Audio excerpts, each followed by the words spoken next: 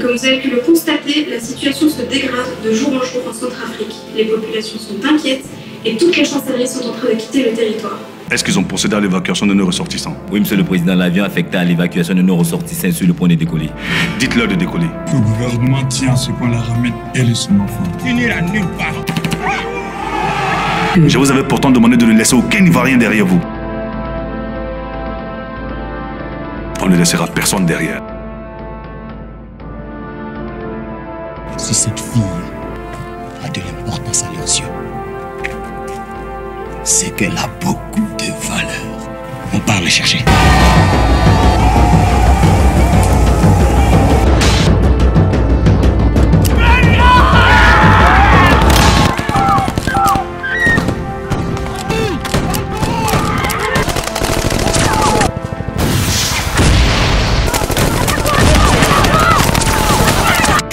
Que c'est que ce bordel si on ne sait pas de sortir d'ici dès maintenant, il sera un peu trop tard après. Je répète, Alpha A Tango 1, appelle la maison.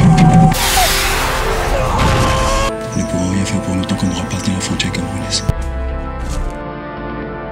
Nous avons rencontré un problème au général. Le capitaine venu nous chercher a été pris pour cible et il s'est craché. Lui et tous ses occupants.